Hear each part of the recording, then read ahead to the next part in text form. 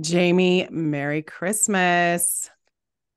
Hi, Merry Christmas, you guys.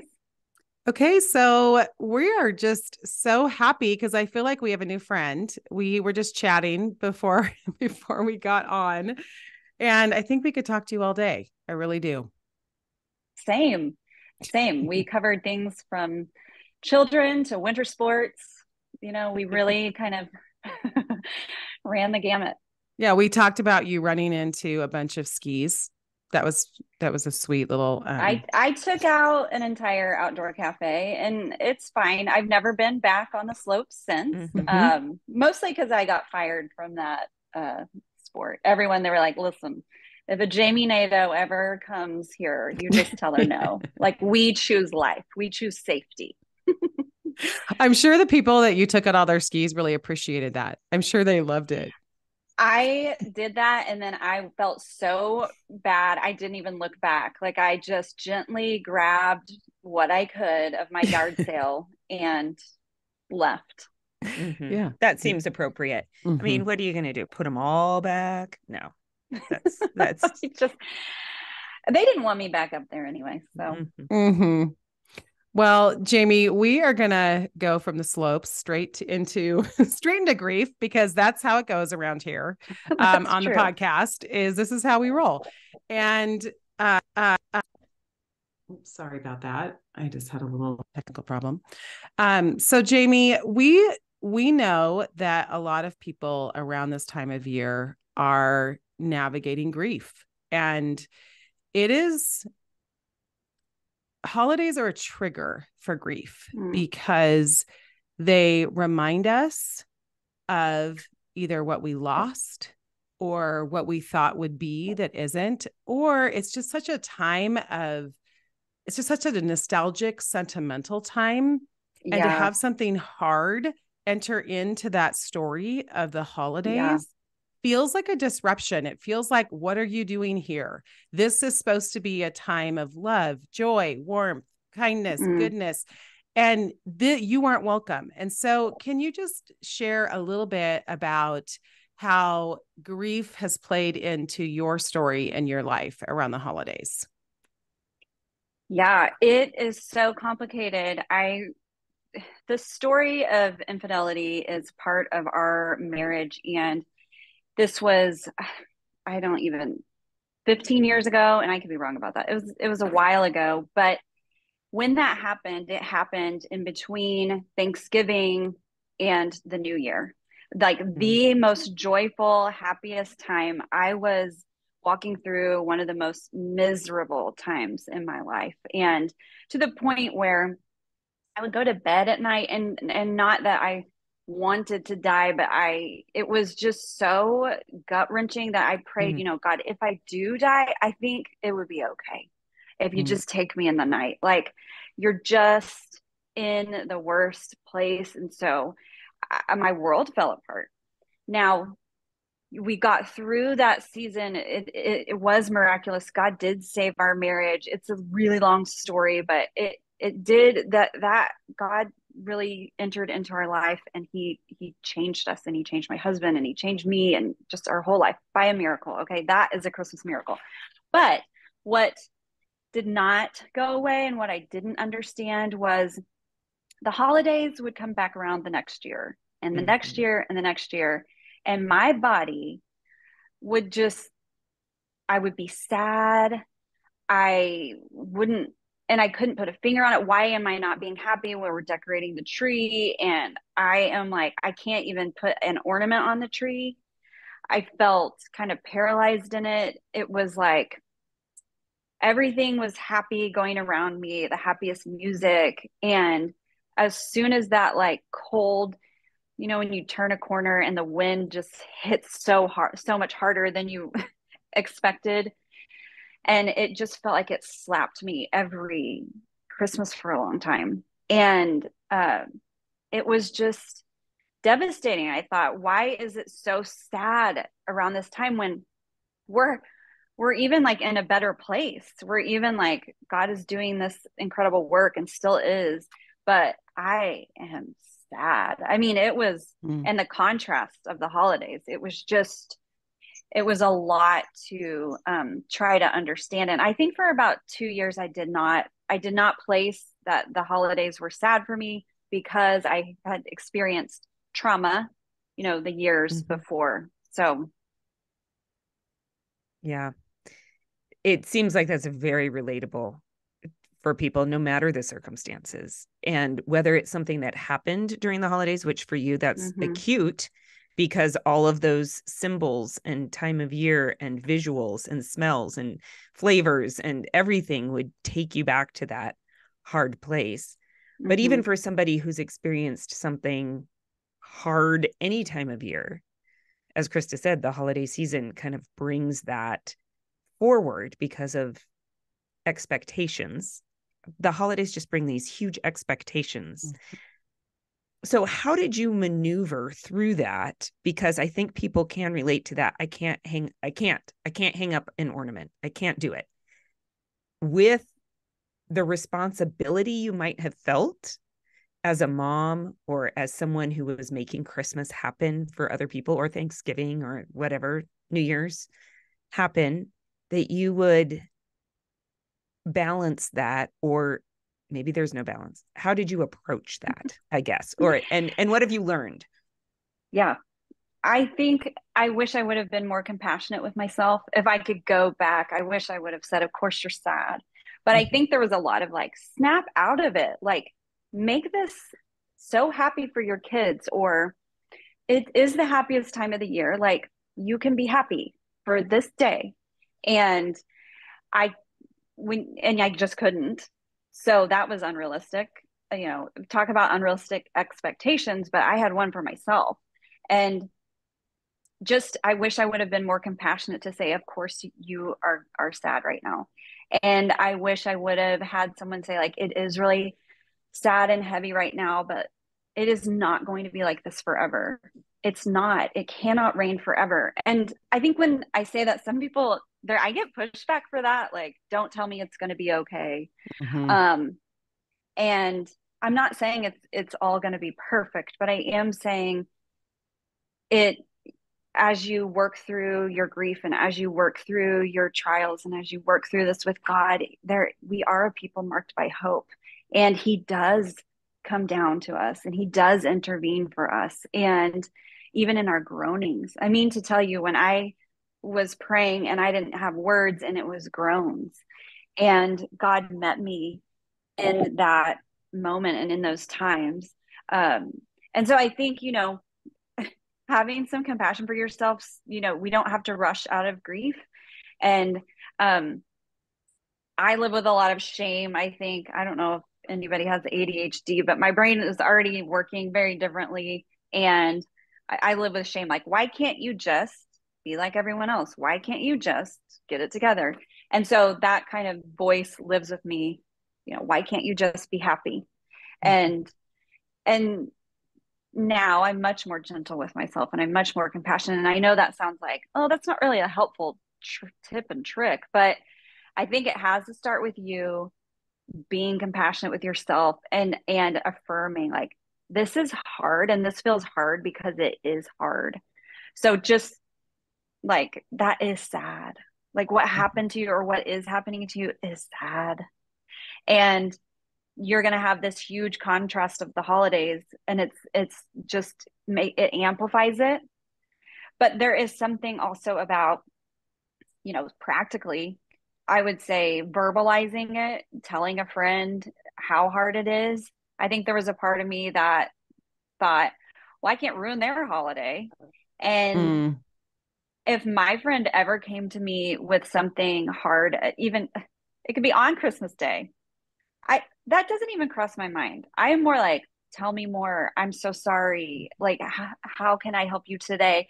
Like, no one's thinking that, but I think you think they think, you know, uh, it was such a joy killer. And really, um, that's the thing that's going to help you maneuver a difficult time is saying, uh, I need to just get this out. I need to get it into the light so that it doesn't have power over me and let someone shoulder shoulder that with you. So practically be gentle with yourself, but practically talk about it. You, some people can't afford a therapist, I understand, but you have a best friend and you you have got to talk to someone. Do I recommend therapy? Like 10 out of 10 stars. You want to give yourself a Christmas gift? there it is. Pay someone to sit and help you unload. Totally. 100%. Yes, on that. Therapy is a Christmas gift. That is yes. going on the gift list. You know, it's interesting you say that. Just today, I had two friends this morning reach out to me and say, Hey, I just need 15 minutes today. Can we just chat really quickly? I need to pray with you, or I need to need to talk to you real quick about something. And I was seriously so happy that they reached out and said that yeah. and just said, I need you today. So I know, you know, I know you're busy, you got a lot of stuff going on, but I give give me 15 minutes. And I'm like, are you kidding? You can have more than 15 minutes. Yes, I'm I'm here for you. And yeah. yet, how often, I just was thinking about it, how often do we not do that? Mm-hmm. Do we mm-hmm. not just reach out and say, Hey, I need you today? Even if it's just 15 minutes, I need you today. That is so yeah. powerful. And it's an honor. I just put yourself in that position. It's an honor when my friend is trusting me and confiding in me. That's what friends do. And mm-hmm. so it's an honor for me. Of course, your friend is going to think it's an honor for them to shoulder some of that with you. And it's powerful and it is the embodiment of of Christ, you think about Christmas, you think about Father, Son, and Holy Spirit. They are a community. It is just built in to us to live in community. Um, you know, all that we language. And we we reflect the image of God when we live inside community. And it we're just not meant to be one. We're just not meant to be one person. It's so true. And I mean, I was just thinking about, I mean, truly my response was, it's my joy. Like it is my joy. Mm-hmm. And yet what we often think we're burdening. Um, but and I also I, I've said this to my friends too, and I'm wondering if you if you have any wisdom on this, but I've said to my friends too, I will never get tired of you talking to me about the same things over and over. Like if there's never. something hard and big, like just know I'm never going to get tired of it. You can keep talking to mm-hmm. me about that. Mm-hmm. So what was that like for you as, you know, things kept coming up? How did you kind of overcome that obstacle? You know, I mean, I can think of I can think of so many specific things like grief uh, shows up when it wants, right? There's you don't get to pick the like time when it comes to you, but I remember there was a time where I would walk through the hallway and in our family pictures, and ironically, the family pictures were at like a Christmas tree farm. And my husband is wearing this watch that he received from this woman, and it is in our family photos, like forever, you know. And there's a newborn, and there is a toddler, and there is me and my husband, and we're laughing, and it just looks picture perfect. And I have these pictures up in my hallway, and I am walking past it and I swear, I mean, I wanted to throw those pictures across the room. Finally, I stop myself in the hallway and I am talking to the pictures like a crazy person because you know what? When you're grieving, it's just a free pass. You can be a crazy person for a bit. And I just said, no, I forgive, I forgive you. I forgive you for the watch. I forgive you for the watch and you are done chasing me. Like I, mm. I am done. I forgive you. And when I walked past that photo, you know, the rest of the my days, my days are back and forth in the hallway, you know, I'm going to that nursery back and forth mm-hmm. and I have to pass that picture and that picture taunted me still, but every time I passed it I said, "Nope, I already forgave you for that. Like I already, you know, I already did this. I forgive you." And then eventually, eventually by the 800th time, you walk past it and that picture doesn't have any more power over you. But I remember telling that to my friend I thought I was crazy. You know, I think I'm crazy. And I'm already just so sad and devastated. And I'm telling this to my friends. And they are mirroring back to me. They are saying, like, this is the Spirit of God living in you. You are forgiving. Like, this is the fruit of the Spirit. This mm. is good.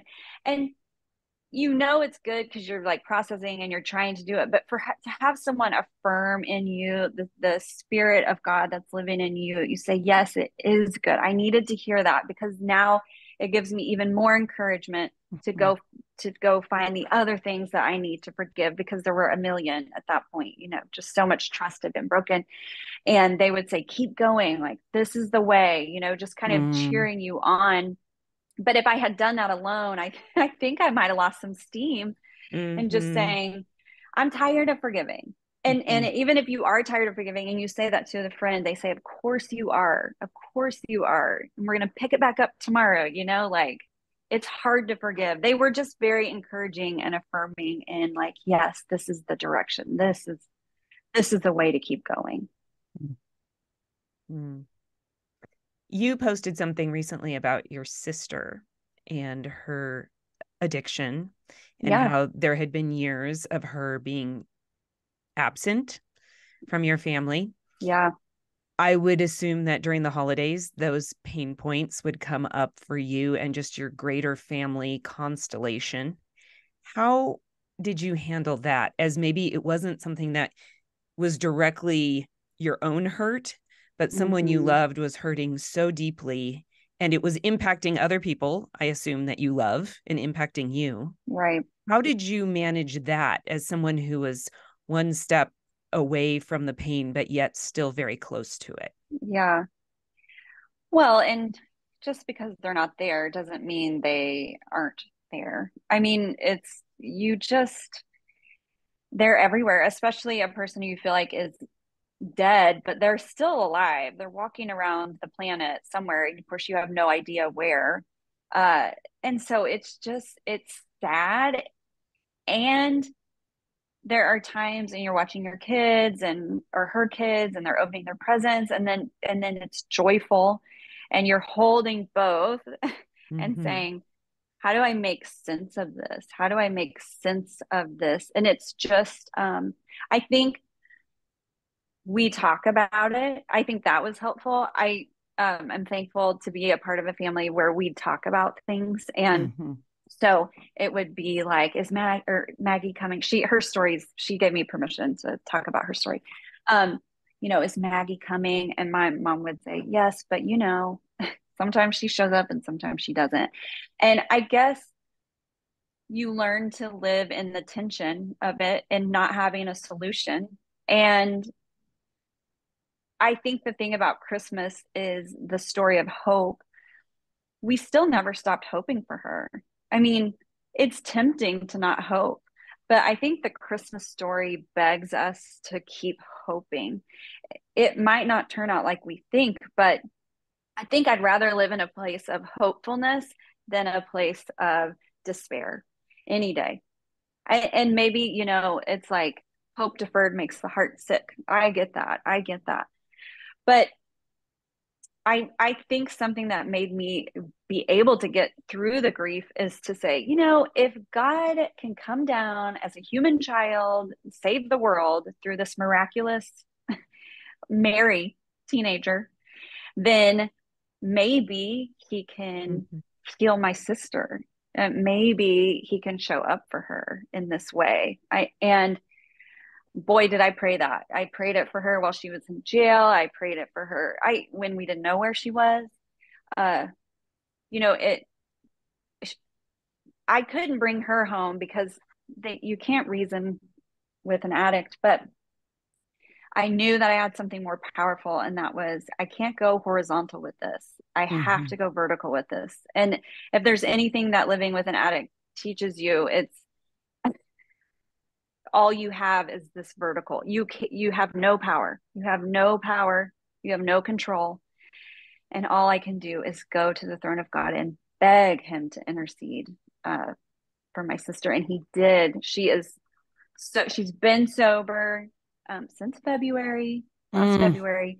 Amazing. and it's a miracle. It's because we're talking fentanyl we're talking meth. It's Ugh. not like gentle gentle drugs. So um it's just been a miracle. And and some people say how can you talk about it and how can you so publicly celebrate it? And i am like guys if you only knew. And also i if she relapses again i guess we'll take that i can't think like that. I cannot hmm. think like that. I have to just love her right here today and celebrate that she came home even if it's for a little bit.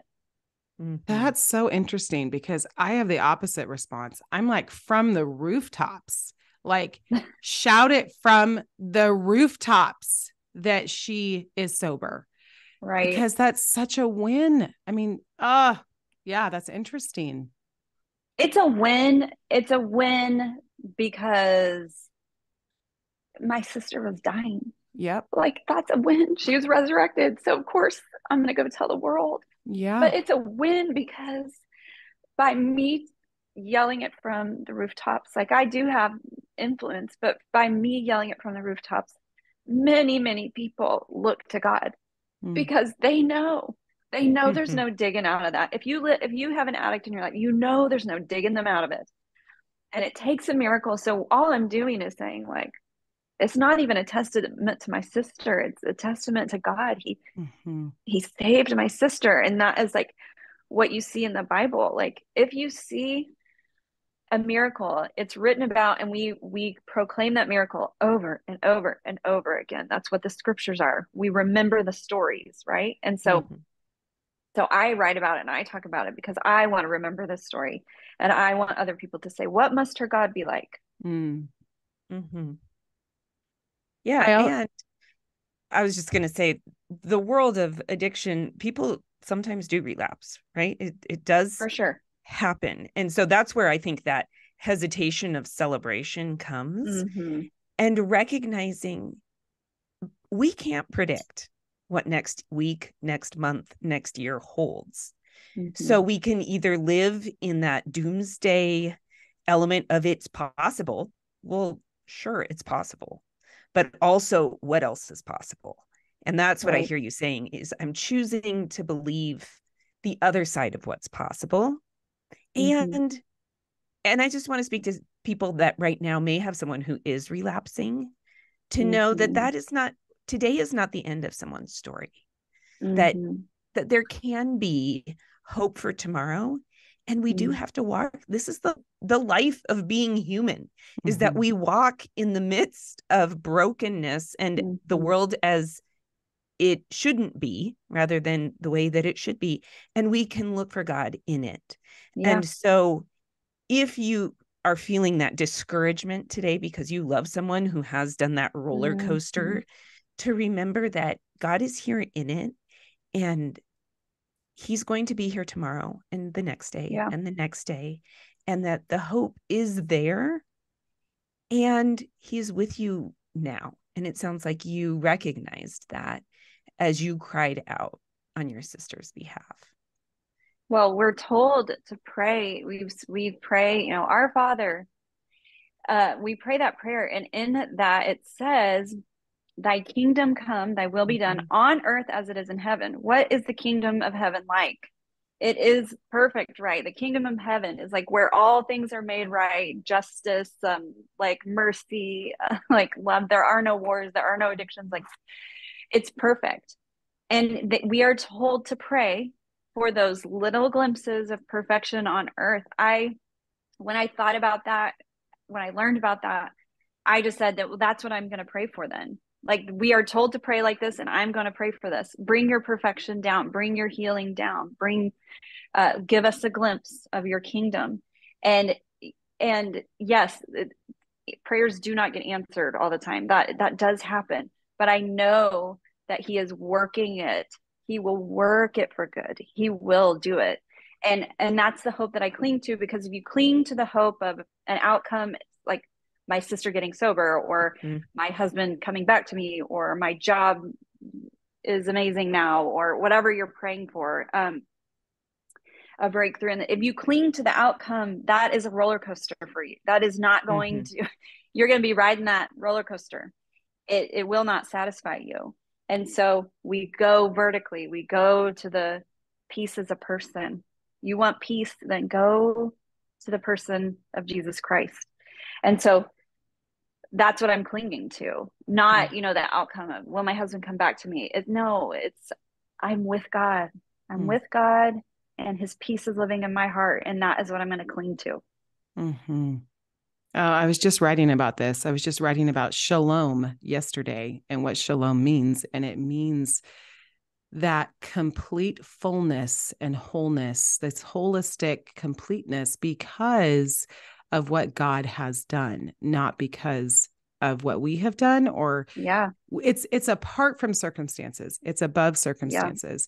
Yeah. and because of that peace is found here. I love that you said that peace is a person because peace is found in here it is not found mm-hmm. out there we certainly see mm-hmm. that in the world right now i mean the world is there's no semblance of peace so mm-hmm. peace has to be beyond the world it is it is in christ it is that rootedness yeah. in christ you know, it's interesting. Um, one of the things that really spoke to me in that post, your post about your sister, also was that she was telling people about God, even while she was struggling in yes. her addiction. And one of the things I want to talk about um, is this idea that God is still reaching people, yeah. even in the midst of brokenness. Ooh. And so, can you talk a little bit about that? Yeah, I think unfortunately, and I was raised like this too. It's like God loves you no matter what, but we still want you to be a good little girl. But here's a million other rules you need to follow. Um, and also we like you more if you follow them. And mm-hmm. you, you know, you you just you get more accolades also if you follow them. You, and so you grow up and it's verbally our theology is like God uses whoever he wants. He uses the weak and he comes for the sick. and then functionally, our functional theology is like, I better do good things for God. And if I do good things for him and I behave, he is going to use me and I'm going to be used for God. And um, and also he's going to give me blessings. So mm-hmm. that is just it's so true. It's yeah. just how we live. Like we have these mm-hmm. formulas, mm-hmm. and then when God doesn't play safe in our formula, like AKA my marriage. I was a good Christian girl. I waited to have sex till I was married. I we were both going to church and we were in small groups. We were volunteering. We are, you know, A plus Christians. and you do all these things in the formula and then it equals like a really happy marriage. Mm-hmm. And I was miserable. So where God, do you not love me? Like, do you mm-hmm. not see that I obeyed you and you were supposed to. And we do that. We use God like he's a genie in a bottle and say, like, I do this for you, you do this for me. And, and God is too, he does not work like that. He's too mysterious. Mm. But to that end, you know, you think about what are we after when we have a relationship with God? What does it look like when we have this relationship with God? Is it performative? or does he just want to be with me in wherever I'm at? In seminary, um, our teacher gave us a case study, and um, I'm reading the case study like a good little student, and I'm saying, okay, we have to solve this problem. Well, what would Jesus do? In my head, I'm thinking, what would Jesus do? Because I am a child of the 90s evangelicals, mm-hmm. and we just yeah. the bracelets. the bracelets. Forget Taylor Swift. We had the WWJDs. We had the bracelet, and um, and there was a part in the case study where it said when people are looking at other people like solutions like they are problems that need solutions um, we are asking what would jesus do? And we are not asking where is jesus at? Mm. and it spanked me a little theological spanking. And i yeah you guys can make shirts with that on it later. Um and it it begs you to ask where is god at and where is he working? And god was in a jail cell with my sister um, detoxing and miserable. And she is telling her cellmates about jesus. God while my sister was high at a drug house had been on drugs for days is telling people they must know who jesus is Mm. That is hard for Christians.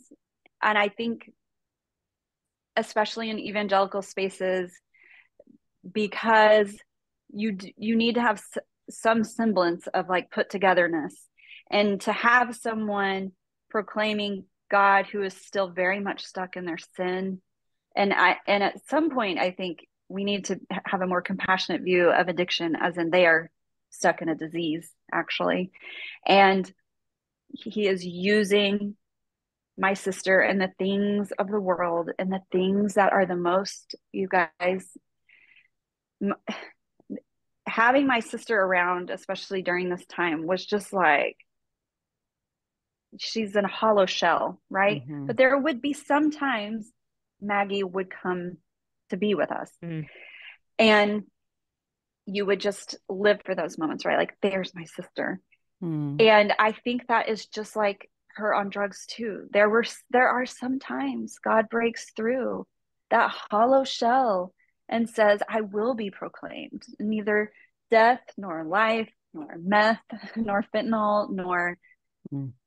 sin is going to keep me from being proclaimed mm-hmm.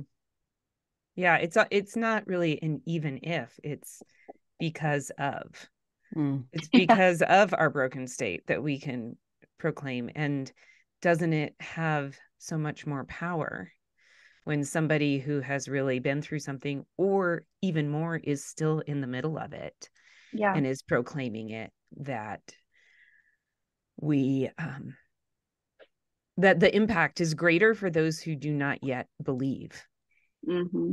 and and i agree with you that for so many of us that have been walking in a knowledge of christ which often means walking in a culture of christianity which mm-hmm. are, can be two different things.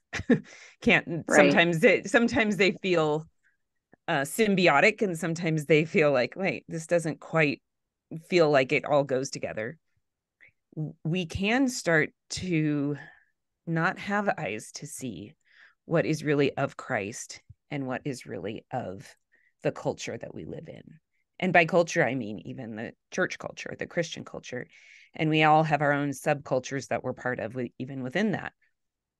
So i i do celebrate when i hear somebody struggling who at the same time is saying and god is here with me.